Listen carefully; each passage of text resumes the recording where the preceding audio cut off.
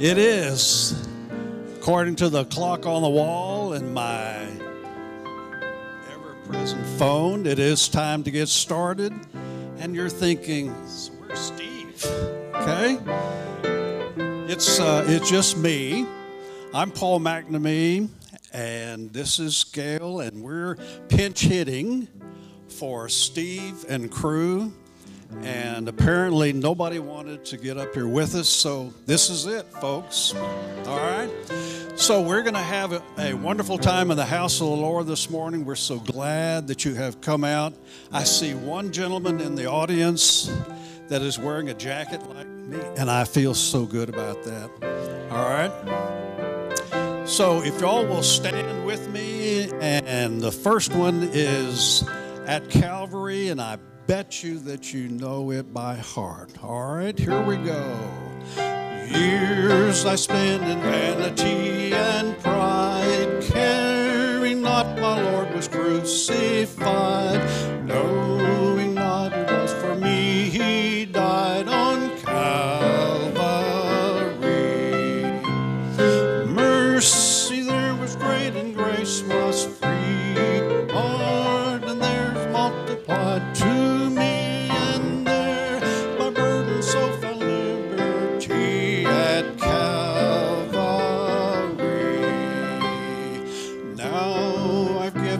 Jesus everything.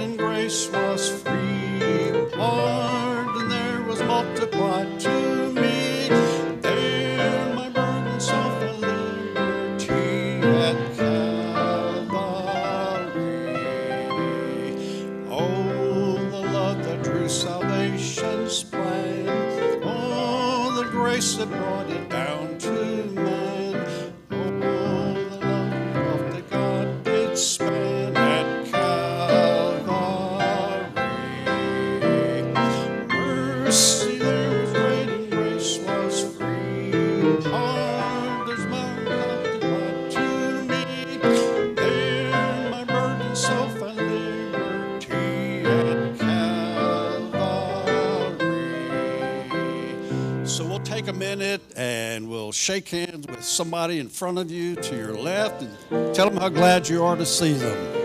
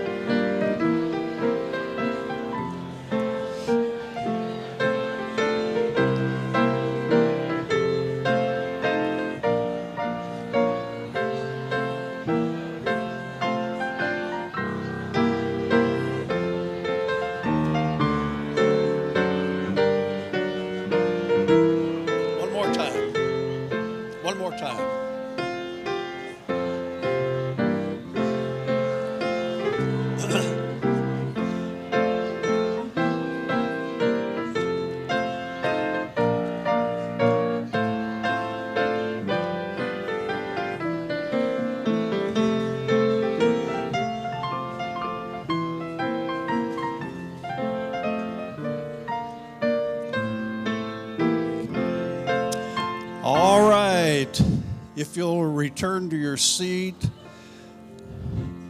especially the uh, captain.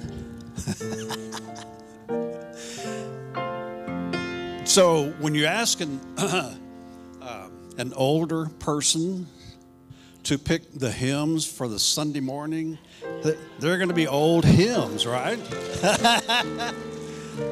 So I know that you know this one. On the first verse of Trust and Obey. When we walk with the Lord in the light of His word, what a glory He sheds on our way. While we do His good will, He abides with us still, and with all who will trust and obey trust and obey, for there's no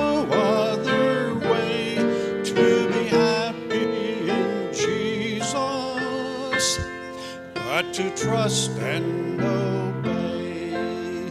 Then in fellowship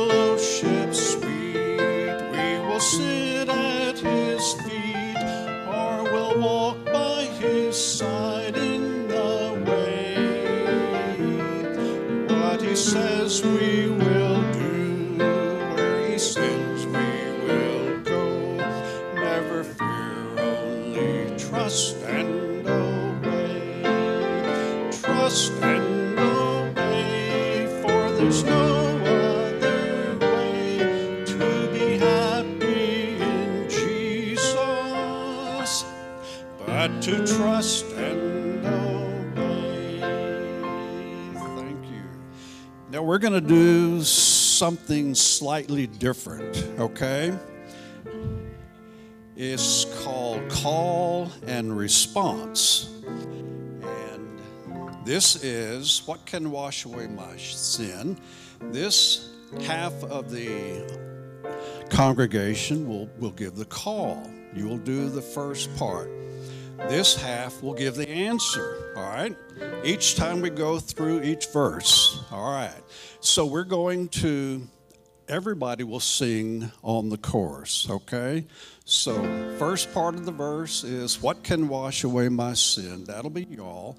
And the answer given will be, Nothing but the blood of Jesus, okay? Here we go. Sing out, all right? What can wash away my sin? Nothing but the blood of Jesus. What can make me whole again? Nothing but the blood of Jesus. Everyone, oh, precious is the flow that makes me white as snow. No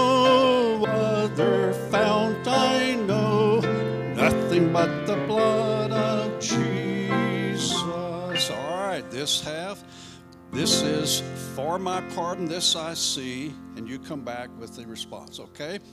For my pardon, this I see, nothing but the blood of Jesus. For my cleansing, this my plea, nothing but the blood of Jesus. Everyone, oh, precious is the flow that makes me white as snow. No other fount I know, nothing but the blood of Jesus. Here we go. Nothing can for sin atone, nothing but the blood of Jesus. Not of good that I have done, nothing but the blood of Jesus. Everyone, oh, precious is the flow that makes me white as snow.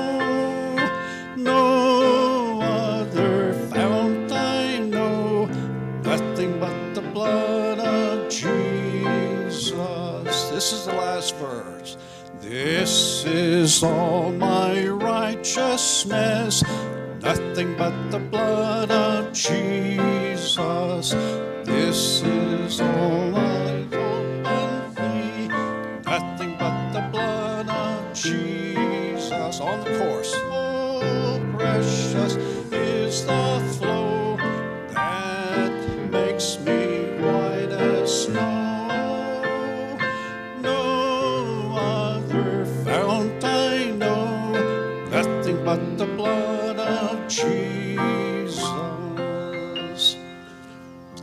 we have one more, and I'm going to get y'all, if you would, stand with me. And it's uh, I've got a mansion, okay? On the first verse, here we go. I'm satisfied with just a cottage below, a little silver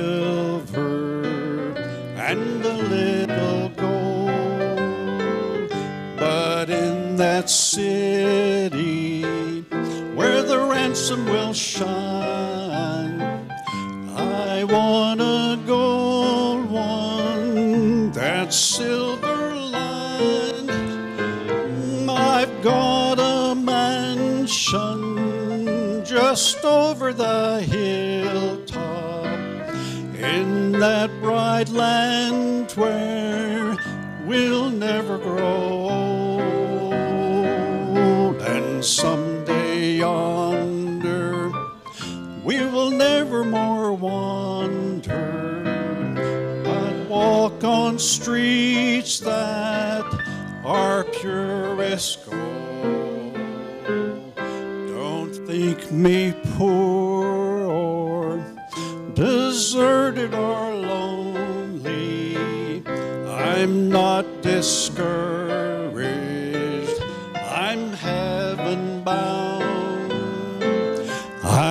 Just a pilgrim in search of a city. I want a mansion, a harp and a crown. Sing it. I've got a mansion just over the hilltop in that bright land where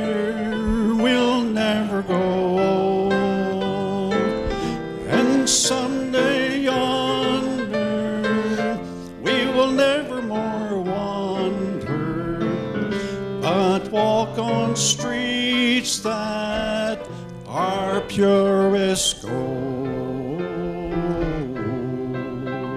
Let's go to the Lord in prayer. Our Heavenly Father, how thankful we are for this opportunity to come to your house and worship. Lord, we thank you for Brother Steve and the preparation that goes into his message each Sunday morning. We thank thee for all that you do for us. Pray that you would uh, forgive us where we fail you. We ask these things in Christ's name. Amen.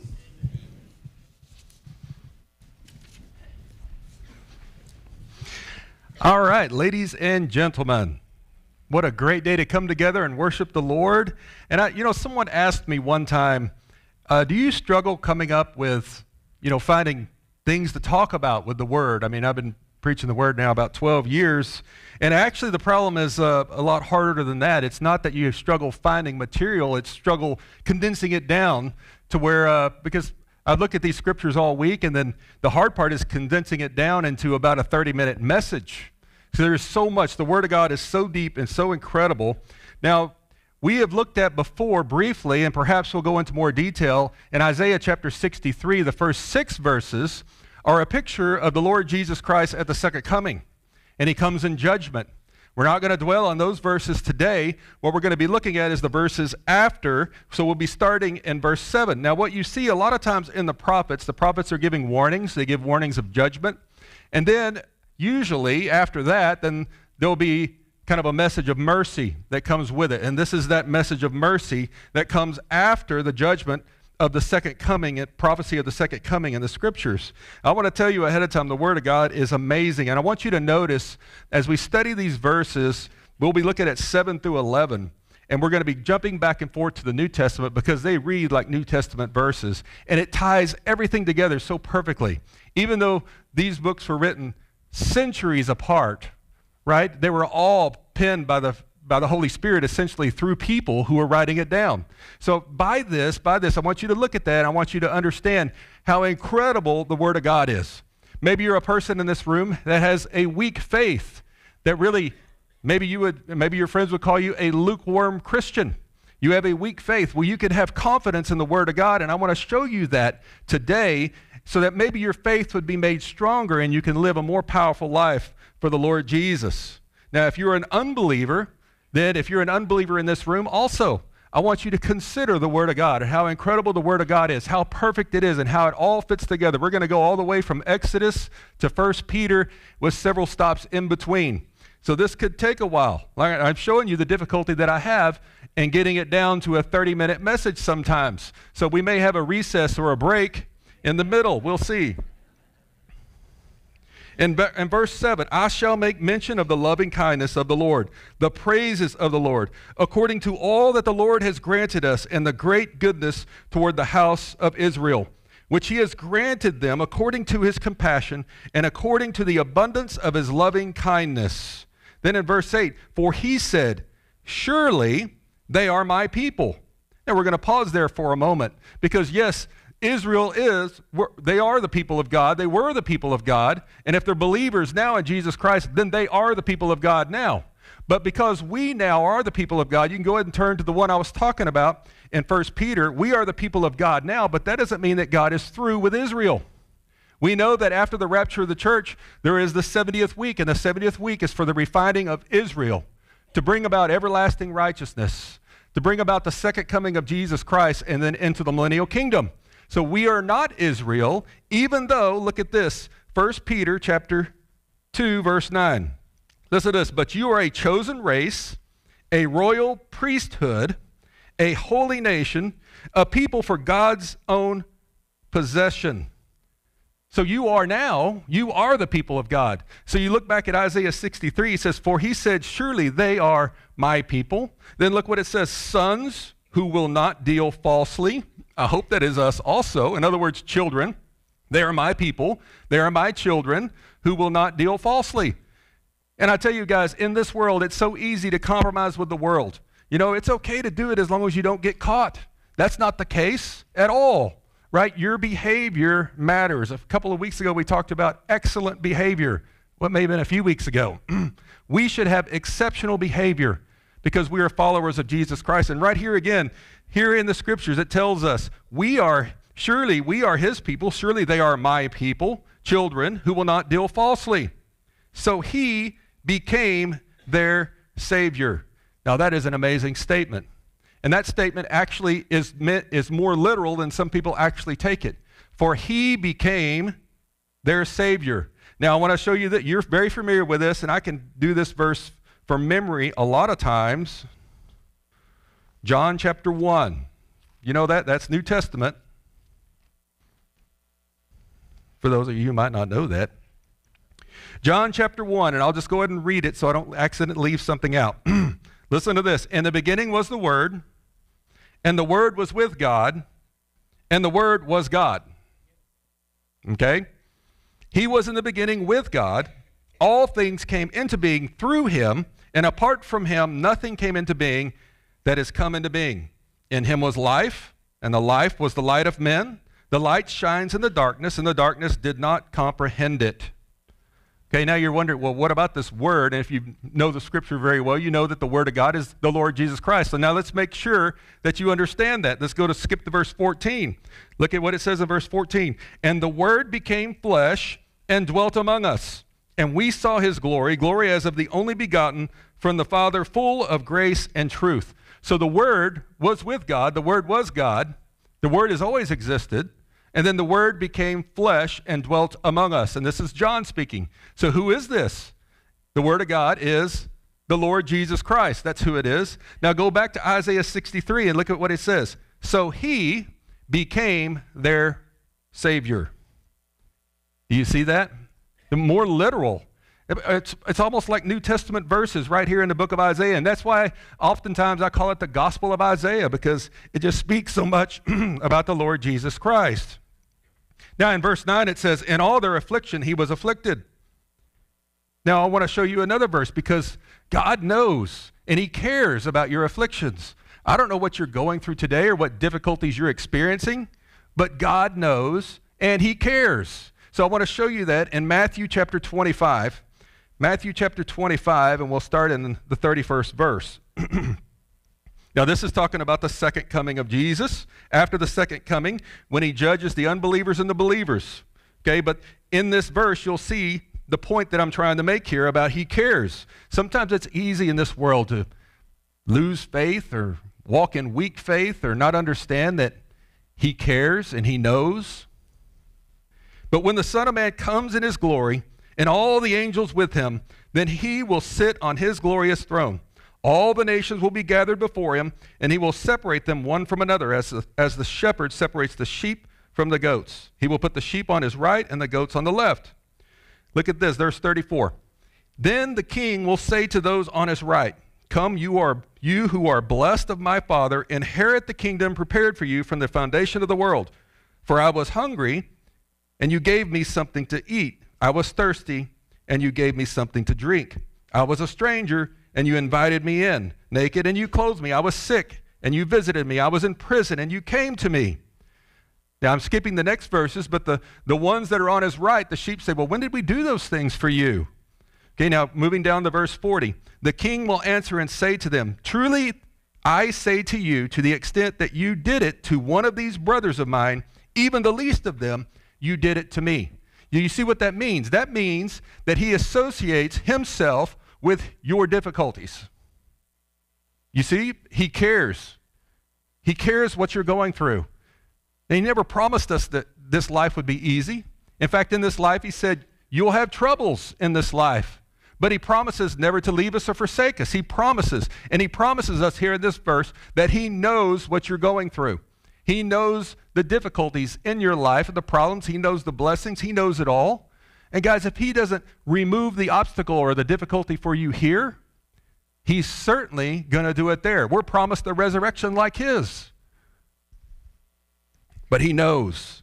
He knows. And he associates your hunger with his hunger. He associates his imprisonment with your imprisonment. Do you see that? Whatever difficulties, he sees it as his own. Now, continuing in verse 9, after the affliction, in verse 9 it says, And the angel of his presence saved them. Now, we're not sure at this point what this is talking about, but I'll tell you ahead of time the angel of his presence is going to be, and we'll see this, the angel of the Lord. Now we know the angel of the Lord is also the Lord Jesus Christ, and I'll show you that too because we're going to go back to the verses and look at it. But at this point, we're not talking about so he became their Savior. What is this exactly talking about? Is this talking about a foreshadowing of the Lord Jesus Christ? Most certainly. But is this also talking about some historical event? I believe so, and I will show you.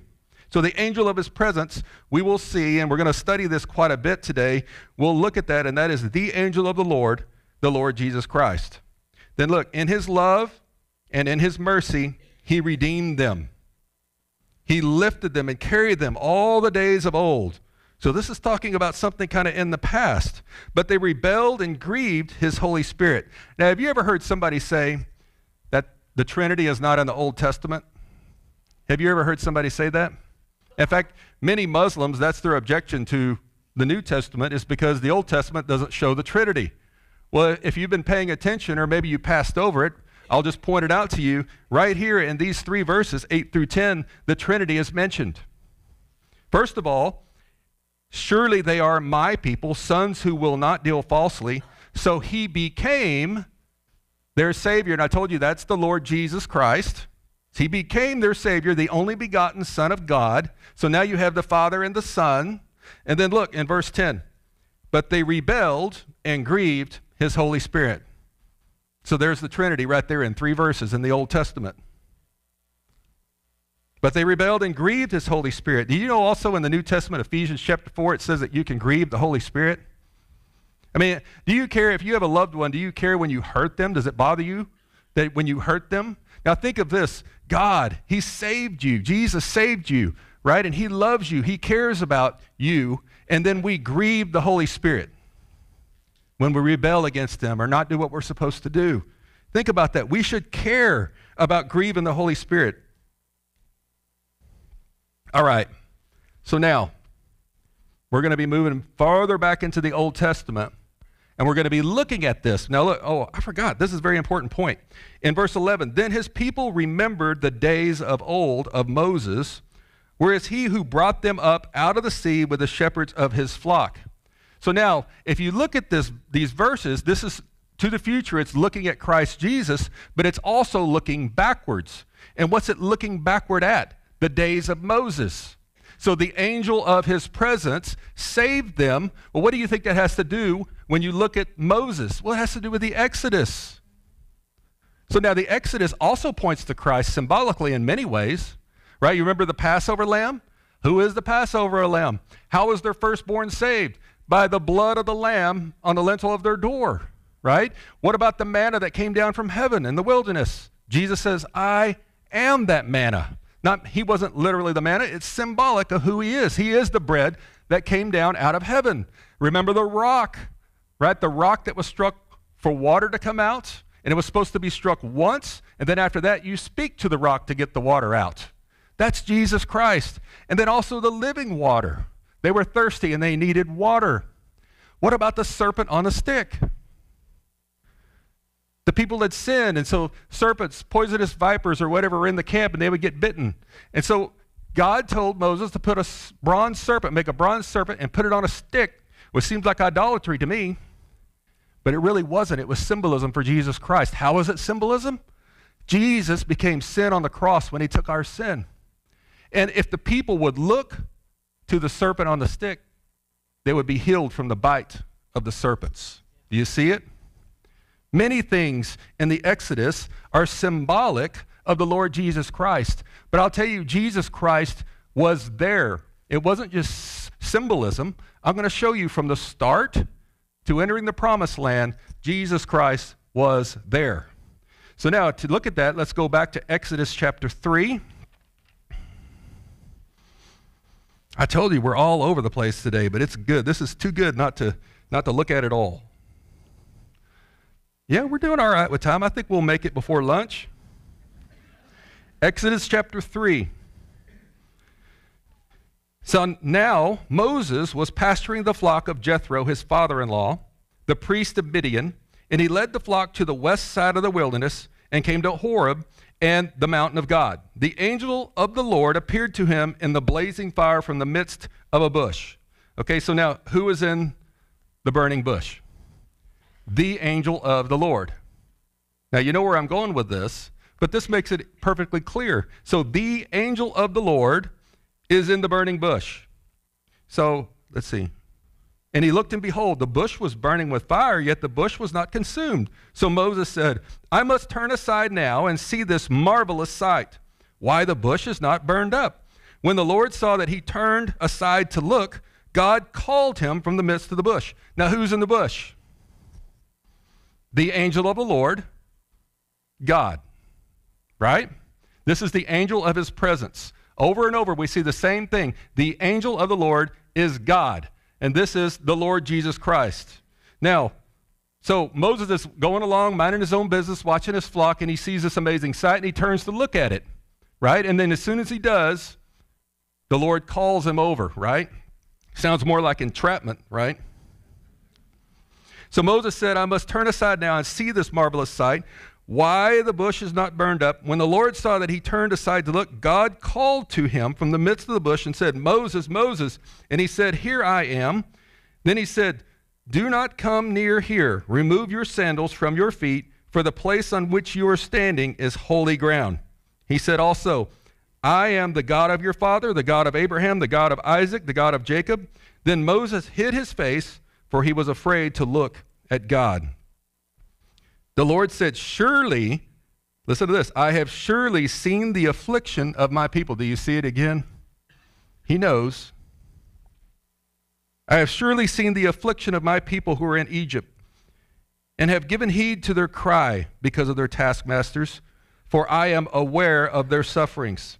So I have come down to deliver them from the power of the Egyptians, and to bring them up from that land to a good and spacious land, to a land flowing with milk and honey, to the place of the Canaanite, the Hittite, the Amorite, and the Perizzite, and the Hivite, and the Jebusite. I could have just said to the place of all the sites, right? Now, behold, the cry of the sons of Israel has come to me. Furthermore, I have seen the oppression with which the Egyptians are oppressing them. Listen to this, verse 10. Therefore, come now, I will send you to Pharaoh, so that you may bring my people, the sons of Israel, out of Egypt. So, first thing we see the angel of his presence, the angel of God, the first thing we see him do is calling. He's calling out Moses to call the people out of bondage. That's what he's doing because the people are in slavery in Egypt. And he's calling Moses to go to Pharaoh, let my people go. You've seen Charlton Heston say that over and over. Let my people go in the old movie. Young people are going, who is that? Okay, the next one. Exodus chapter 13, starting in verse 17. Now, when Pharaoh had let the people go, God did not lead them by the way of the land of the Philistines, even though it was near. For God said the people might change their mind when they see war and return to Egypt. Hence, God led the people around by the way of the wilderness to the Red Sea. And the sons of Israel went up in martial array from the land of Egypt. Moses took the bones of Joseph with him, for he had made the sons of Israel solemnly swear, saying, God will surely take care of you, and you shall carry, you shall take care of you, and you shall carry my bones from here with you. Then they set out from Succoth and camped in Etham on the edge of the wilderness. Now listen to this, verse 21. The Lord was going before them in a pillar of cloud by day to lead them on the way, and in a pillar of fire by night to give them light, that they might travel by day and by night. He did not take away the pillar of cloud by day, nor the pillar of fire by night from before the people. So now, they're out of bondage, so to speak. They're out of slavery. And now you have the Lord leading them. And well, you say, well, this isn't the angel of the Lord. Well, I'll show you. Just be patient. We'll get there in the next one, right? He is leading them now in the wilderness of sin. He is leading them by day and by night. Always, always there with them, never forsaking or leaving them, leading them in the wilderness of sin. So now moving over to 14, chapter 14, verse 19. And by the way, in this wilderness of sin, they had all kinds of discomfort, thirst, hunger, difficulty. Like I said, snakes. They had all kinds of problems. They rebelled against the Lord and they suffered the consequences. It was not easy. It was extremely difficult. In fact, many times they cried out and said, We should just go back to Egypt. It was easier being slaves in Egypt than it is to be here in this wilderness of sin. But God was leading them the whole way and was always there with them. Exodus chapter 14, starting in verse 19. This is, this is where I'm telling you. Look at this. The angel of God, who had been going before the camp of Israel, moved and went behind them. So this, this, this pillar of cloud by day and this pillar of, pillar of fire by night that's been leading them in the wilderness of sin all this time, this is the angel of God, the angel of his presence. The same one that said, I am God, basically in the burning bush. He said, I am God. So the angel of God who had been going before the camp of Israel moved and went behind them, and the pillar of cloud moved from before them and stood behind them. So it came between the camp of Egypt and the camp of Israel, and there was the cloud along with the darkness, yet it gave light at night. Thus the one did not come near the other all night. So what has happened is they're on the edge of the Red Sea, before the Red Sea crossing. And here comes Pharaoh's army, right? Now, these people, God already said they're not fit for war. They're probably going to get scared, want to go back to Egypt. But now here comes Pharaoh. And they're completely vulnerable. They don't have weapons of war. They haven't been trained in weapons of war. They've been making bricks and doing things of that nature. And here comes Pharaoh's army right up on them, all the chariots and everything. And what does the angel of the Lord do? The angel of the Lord goes around behind them now and blocks off Egypt, the warriors of Egypt, Pharaoh's army, away from them to where he can't get to them. So you see now also what the Lord does here? He's protecting them where they're most vulnerable. Otherwise, they would be completely overwhelmed. They could not handle the attack of the enemy without the Lord protecting them. And this also is the same pillar of fire at night, pillar of cloud during the day. This is the angel of God this is God Almighty, the Lord Jesus Christ. Now let's turn to my favorite, Exodus chapter 23. This one is less well known. Maybe you didn't realize that this was one of them. You have to pay close attention to see it sometimes. Okay, now this is before they enter the promised land. Okay, they've been wandering around the wilderness now, and they're going to enter the promised land. Look, look what God says Behold, I am going to send an angel before you to guard you along the way and to bring you into the place which I have prepared. Listen to verse 21. Be on your guard before him. Obey his voice. Do not be rebellious toward him, for he will not pardon your transgression. All right, going to pause there. Who can forgive sins? God. God's the only one that can forgive sins. So, what, it, what about this angel? It says that If you're rebellious against him, he will not forgive your sins. So this is this angel is the angel of God again. This is God Almighty, the same God in the burning bush, the pillar of fire by night and the pillar of cloud by day, the pillar that went behind them and protected them from their enemies on their flank. This is the same one. With all the symbolism is about Jesus Christ that we talked about with the Exodus. And the Old Testament points so beautifully and perfectly to the Lord Jesus Christ and helps us understand the New Testament. And the New Testament fulfills many things that the Old Testament said. It's wonderful how it fits together like a perfect puzzle.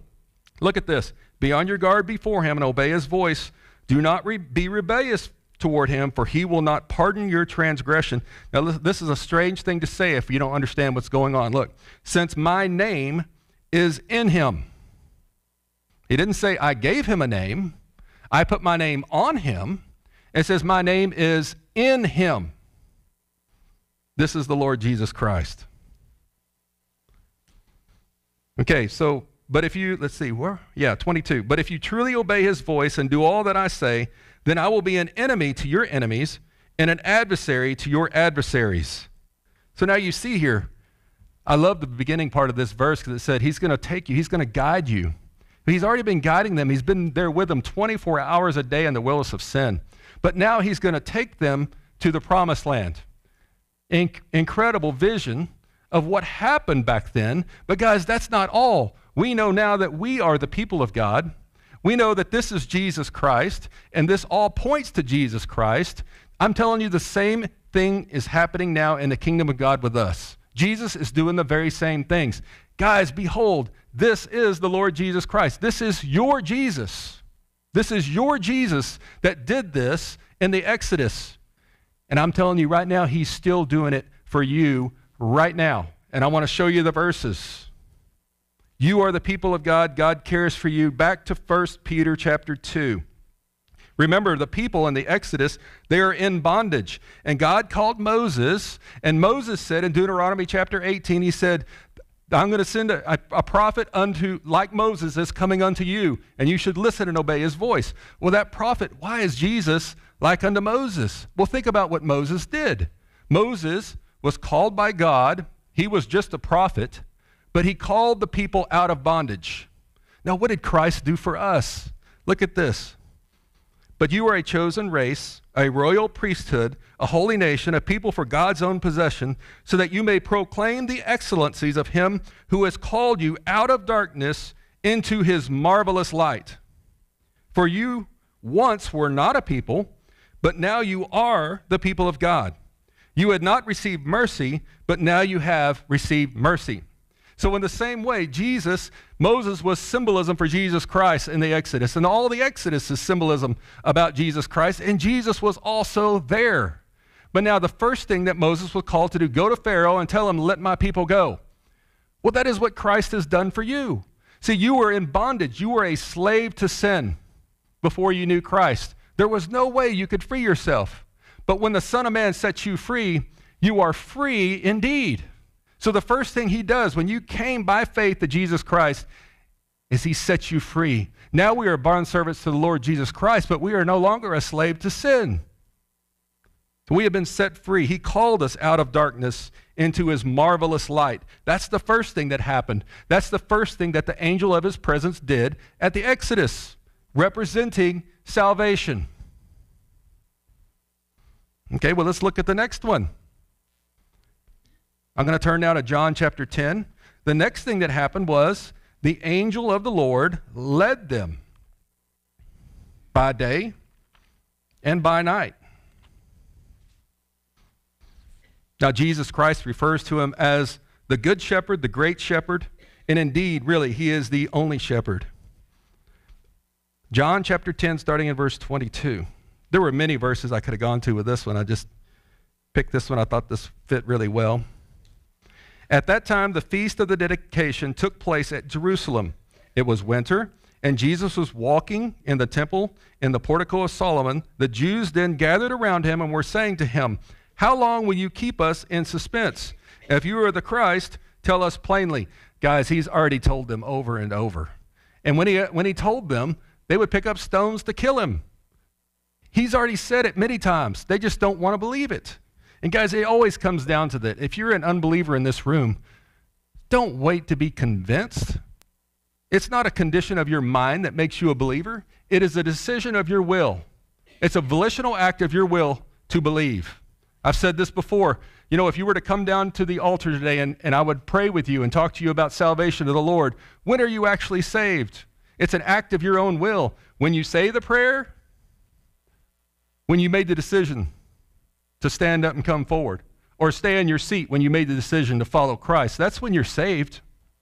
And see, that sets you free from bondage. That's what Christ did for you. He's calling you right now out of darkness into his marvelous light. Don't wait another day.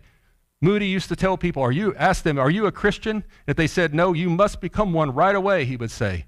And yes, it is that important. Become a Christian right away. Believe in the Lord Jesus Christ. So Jesus answered them, I told you, and you do not believe. The works that I do in my Father's name, these testify of me. What more does he have to do? These people have seen way more than we have seen. He's done all these healings and acts and all raising people from the dead, and they still won't believe. But you know what he said about you and me? He said, Blessed are those who believe who have not seen. Blessed are you. You are the people of God. He loves you. He cares about you. He called you out of darkness into his marvelous light. Okay, now in Exodus chapter 13, remember what he does the pillar of fire by night, pillar of cloud today. He's leading them and guiding them through the wilderness of sin, which, guys, if you didn't know, that is a representation right now of where we are. And remember, the wilderness of sin it's difficult. It's messy. People died. People were hungry. People were thirsty. People were scared. But He's always there, leading them by day and leading them by night. Look at this. I told you, and you don't believe. Now, verse 26 But you do not believe because you are not of my sheep. Now, remember, you're the people of God, and He is the great shepherd. My sheep hear my voice, and I know them, and they follow me. Now, I want to I didn't plan on using this verse, but I'm going to look at look at verse 11 going backwards. I am the good shepherd. The good shepherd lays down his life for his sheep. So you know who this is and you know who you are. Look at this. My sheep hear my voice. I know them and they follow me. So now remember, he's leading us. Just like in the Exodus with a pillar of fire by night and a pillar of cloud in the day, he's leading them through the wilderness of sin. And guys, we are to be led by the Good Shepherd. Follow the Good Shepherd. Don't grieve the Holy Spirit. Go after him. Follow Jesus Christ. So, just like in the Exodus, with the appearance of the angel of his presence. What did he do? First, he called them out of darkness into marvelous light. He called them out of slavery. Now they're in the wilderness of sin, and he's there with them, never leaving them, forsaking them, always following them, leading them wherever they go, and they follow him. Okay, now what is the next thing that happened that the angel of his presence did in Exodus chapter 14? Remember, he went around to their back and protected them when they were most vulnerable. He protected them when they could not withstand the attack of the enemy themselves. Well, guys, guess what? That's exactly what he's doing for you right now. Now, I'll read uh, 28 and 28 to 30. And I give eternal life to them, speaking of the sheep. They will never perish, and no one will snatch them out of my hand. My Father who has given them to me is greater than all, and no one is able to snatch them out of the Father's hand. Okay, now this, this last verse 30 is for the people he's told over and over and over, and they don't believe it, right? I and the Father are one. Okay, what do they do? They pick up rocks to stone him. Tell us plainly if you're the Christ. I'm the Christ. All right, we'll throw rocks at you, right? But anyway, shouldn't you believe the miracles that he did? Would God allow someone like this to perform miracles and raise the dead and then speak blasphemy? maybe they should consider what he has to say. So now he calls us out of darkness, right? Just like the angel of presence did in the Exodus. He leads us 24 hours a day, day and night, just like in the Exodus. And then he protects us. So he protects us. No one can snatch us out of his hand. And that's good news. Like if you are a believer in Jesus Christ, you are kept in the very hand of God, and nothing is going to take that away from you. But see, there's even more. Remember, the people recognized without the, they should have recognized, without the Lord, we are very vulnerable and we could die because we could be overwhelmed by the enemy. Remember Pharaoh's army coming? And then the angel of God went around the back and protected them? Well, guys, look, without God, you would be completely overwhelmed by the enemy. And you know, there's a scripture, it says, He will not allow us to be tempted beyond our ability to resist. Do you see what that means? He's protecting you, and He will not allow the enemy to overwhelm you. So, just like in the Exodus, what the angel of the Lord was doing back then with the people of God, He is doing now for the people of God, His sheep, you. And my favorite. Remember in the last one, Exodus chapter 23, said he's going to guide them to a place that was prepared for them. And guys, this is the promised land. Now turn just a few pages over to John chapter 14. We probably don't even have to turn there. We can quote this for memory. Jesus is telling the disciples here, and this is words for you also do not let your heart be troubled. Believe in God, believe also in me. In my Father's house are many dwelling places. If it were not so, I would have told you, for I go to prepare a place for you. Do you remember what it said in Isaiah? Look at, I'll just, I'll bring this back up here. Look at this. No, it was Exodus. Exodus chapter 23. If you're tired of turning, I'll just read it for you. Exodus 23 and verse 20. Listen to what it says. Behold, I am going to send an angel before you to guard you along the way and to bring you into the place which I have prepared. Isn't that amazing how close that is? In my Father's house are many dwelling places. If it were not so, I would have told you. For I go to prepare a place for you. If I go to prepare a place for you, I will come again and receive you to myself, that where I am, there you may be also. And you know the way where I'm going, and you know what Thomas says here. He says, Lord, we don't know where you're going. Give us a map, GPS, iPhone, something. Thomas said to him, Lord, we do not know where you are going. How do we know the way? Jesus said to him, I am the way and the truth and the life. No one comes to the Father but through me. You remember at the Battle of Jericho when the commander of the Lord of hosts, which is Jesus Christ, appeared to Joshua and gave him the instructions for conquering Jericho, which are really silly instructions, not a very smart military plan, but not for God. God was testing their faith. So they did exactly what God said, and the walls fell and they took Jericho, right?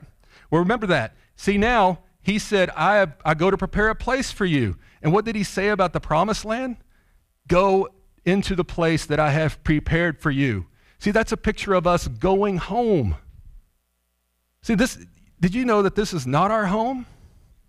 In many ways, it's difficult and we have blessings, but at the same time, this is not our home. He's preparing a place for us. You are the people of God. He has called you out of darkness into his marvelous light. He leads you. He leads you and guides you in the middle of the wilderness of sin. He protects you from your vulnerabilities, doesn't allow you to be overwhelmed by the enemy. And guys, He's preparing a place for you so that He will take us home so that we can be where He is. Because He is the way, the truth, and the life. And no one comes to the Father but by Him. So, guys, what do we do with this information? I told you the Word of God is incredible. It's just mind blowing how perfect it is from the beginning to the end. God is awesome. Have faith. Live by faith, not by fear. In this world in which we live in, don't be fearful. Be brave, courageous. Trust in the Lord. He leads you, He's got your flank, He's already saved you, and He is going to take you home. That's what the Exodus says pointing also to Christ in the New Testament, and that's what the New Testament verifies exactly like it. So now, unbelievers, come to Christ. Give your life to Jesus. Don't wait another day. You could get hit by some crazy driver in our own parking lot and not make it. Trust in the Lord. It's the best decision you'll ever make. And guys, for us, Look at what Christ has done, is doing, and will do for us. Remember, he said, Surely they are my people, sons. surely they will obey my voice. We have an incredible responsibility to have exceptional behavior, love the people of God, trust Jesus, reach out to the lost. And, guys, in the end, He's coming for us, and He'll take us home. In Jesus' name, let's pray. Dear Heavenly Father, God, thank you so much for Jesus. Thank you so much for the Old Testament scriptures that kind of they're so symbolic of Jesus Christ and point to him. They're symbolic and also stories of what he actually did and how that fits so perfectly and beautifully with the New Testament. It gives us incredible confidence in the Word of God and incredible faith so that we can live bold lives in the name of Jesus. God, thank you so much for Jesus Christ. Thank you that he called us out of darkness into the marvelous light. God, thank you that Jesus leads us every which way as we wander and go about in the wilderness of sin. God, thank you for giving us a purpose in this mess of a world. Thank you for leading us 24 hours a day and never leaving us or forsaking us. God, thank you for protecting our vulnerabilities, not allowing us to be overwhelmed by the enemy. And God, we thank you again, even looking forward to the future when we go to the place that you have prepared for us, the promised land, in victory. God, thank you so much for Jesus Christ. In his name we pray. Amen.